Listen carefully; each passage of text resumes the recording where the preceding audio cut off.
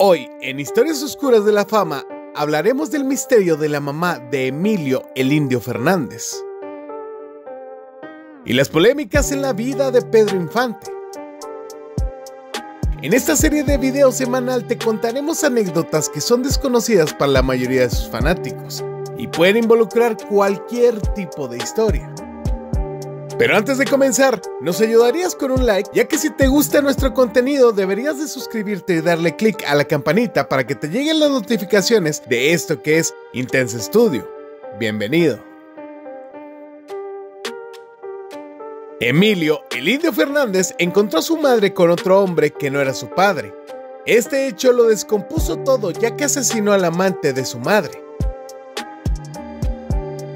La leyenda del cine mexicano El Indio Fernández le daría pies y cabeza a el arte en México, protagonizando no solo un sinfín de películas, sino dirigiéndolas, produciéndolas y escribiendo guiones, no solo en el territorio nacional, sino también en España y en Estados Unidos.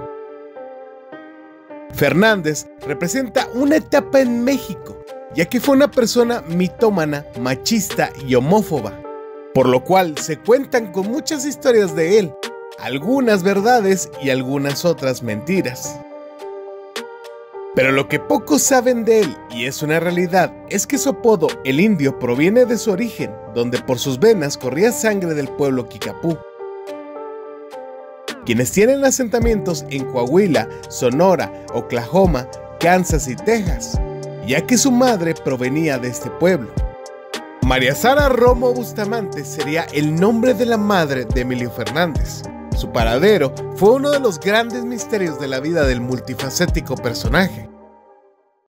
Ya que al actor nunca le gustaba hablar de ella, en las pocas ocasiones que lo hizo, habló sobre cómo en 1913 encontraría a su progenitora en un encuentro íntimo con su amante mientras que su padre, Emilio Fernández Garza, se encontraba lejos peleando en la Revolución Mexicana.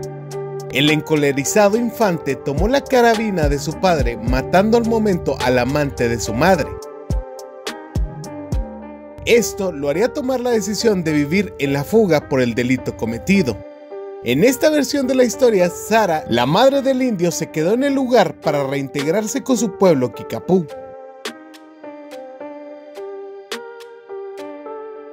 Una segunda versión salida de la boca del mitómano actor sería que tras dar muerte al amante de su mamá, un amigo de este tomaría venganza contra Sara asesinándola.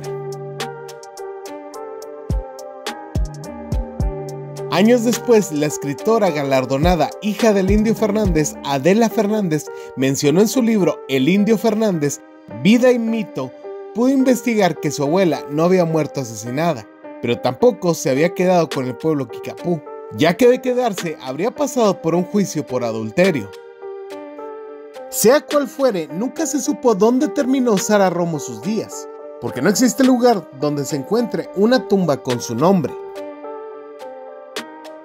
En la corta vida del ídolo inmortal Pedro Infante existieron muchas controversias que en estos años escandalizan lo que en aquel tiempo se veía como algo natural y justificable como la edad de sus diferentes parejas, además de la falsificación de documentos oficiales.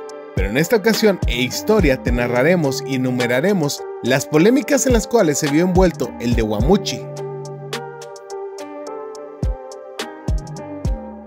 A los 17 años se convirtió en padre, tras sostener un romance con Guadalupe López. Lamentablemente a esta hija la familia no la reconoció y tampoco peleó por la herencia.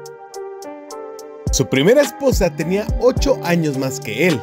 El noviazgo con María Luisa León Rosas no era bien aceptado porque indicaron que Pedro Infante no era de su misma clase social.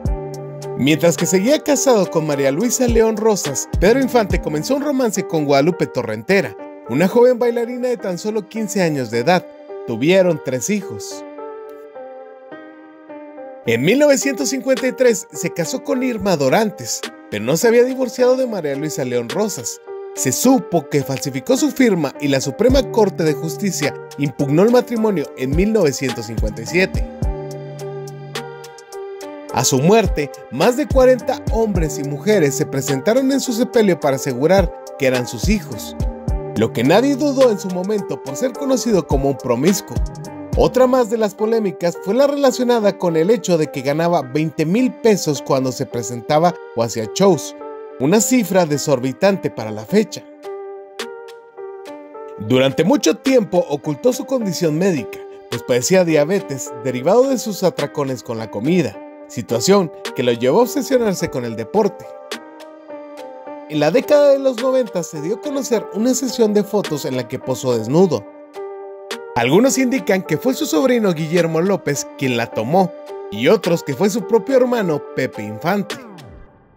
Y bueno amigos, esto ha sido todo por el día de hoy. Regálanos un like además de mucho amor en la caja de comentarios. Esperamos oír de ti. Esto es Intense Studio.